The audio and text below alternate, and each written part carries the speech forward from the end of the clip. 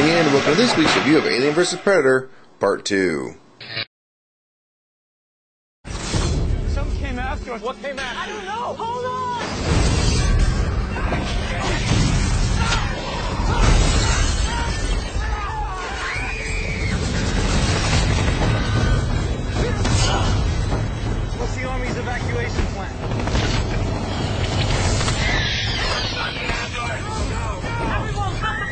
pretty sure most people were extremely disappointed with the first Alien vs. Predator movie.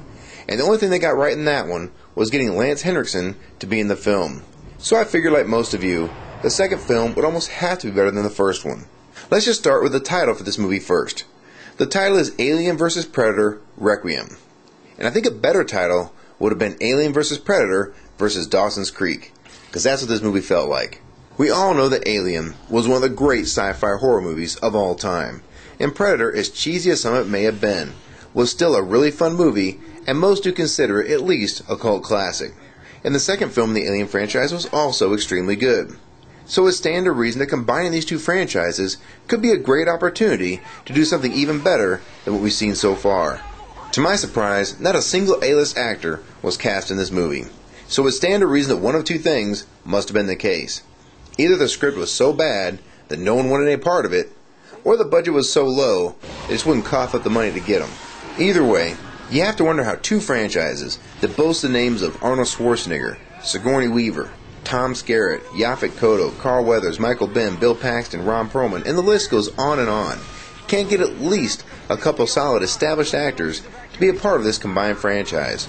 What they did instead was go to the classic horror movie remake or sequel formula and get all the actors from TV shows like Rescue Me, The OC, 24, The Job, and CSI New York as the cast for the film. This is always a clear warning sign for any movie that could be in the horror genre.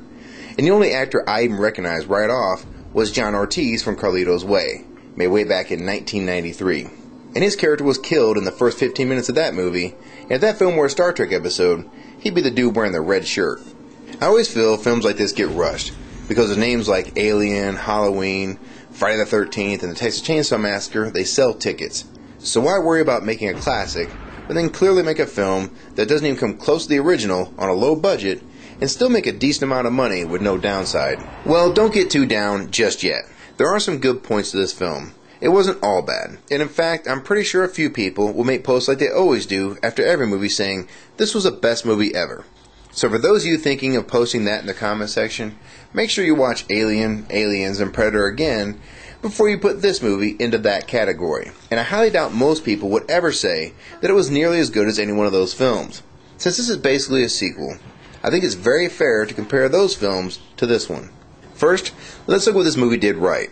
There are decent to good action scenes, and there's a good amount of gore and violence. And this film doesn't pull any punches. Anyone can die, and die a horrible death and a good overall body count, meaning lots of dead people. And now for the bad. There's a mediocre cast at best. And there is some terrible acting with characters speaking horrible wooden dialogue, and basically bad directing of the actors. This movie did have some lines that make Arnold proud. They were that bad. And the one thing I could never understand was why there was only one Predator in the film. The whole time I kept thinking, when was backup coming? Nope, just one dude taking them all on. But it really didn't hurt the movie. As long as there were no actors in the shots talking or doing anything, it was a decent scene. But once the actors got in front of the lens, man, it was always downhill from there. I think the dialogue and how it was delivered was what really hurt this movie the most. You could almost hear the director giving the lines to the actors before each scene. You hear this quote, People are dying, we need guns. And I just can't do this line justice. You just need to see it to understand what I mean. Not really a bad line in and of itself, but when you see it in the movie, you're just like, wow, did they just graduate from Pauly Shore's acting school or what? And if you learn anything from this movie, it's that the government would never lie to you and that they will always look out for you. Well, at least that's what I got out of it.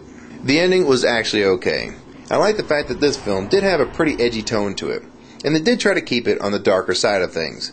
I'm just glad they at least tried in some ways to keep the spirit of these two franchises alive. Overall, I think a decent amount of you will like this movie. And the reason why I'm being pretty hard on it is because I know and remember clearly what made these two franchises great in the first place. And I just thought this whole AVP thing could have been so much better than it was. and I'm also surprised that more actors and directors didn't want to take a shot at combining the two. The only thing I can come up with is that the studio wouldn't give enough time and money to develop this into a great new franchise. Because with names like Alien and Predator, that brings in 60 to 80 million dollars without even breaking a sweat. And I think if they tried harder, Alien vs. Predator could have become a classic new franchise instead of a guilty pleasure. Again, if you had any interest in seeing this movie, check it out. You'll like some parts, if not the whole movie. Some scenes definitely deliver. Just pretend the humans don't exist, and it'll be a much better film. From overall rating, I give Alien vs. Predator Requiem two and a half stars. You'll shoot your eye out, kid. Post your comments below on what you thought of this movie. If you'd like to rate and review a movie, you can do so at www.yourmovieratings.com. At this site, you can upload a video review or even a text review of any movie ever made. If you subscribe to my channel, you'll be notified immediately when my latest movie review is uploaded. Also, if you'd like to see some of the latest info regarding my channel, then check out my website at MrBlacksReviews.com. And if you made a cool video or you want to share your YouTube channel with other members, then post them in the YouTube section. These forums are dedicated to everything from new movie releases to your very own YouTube channel.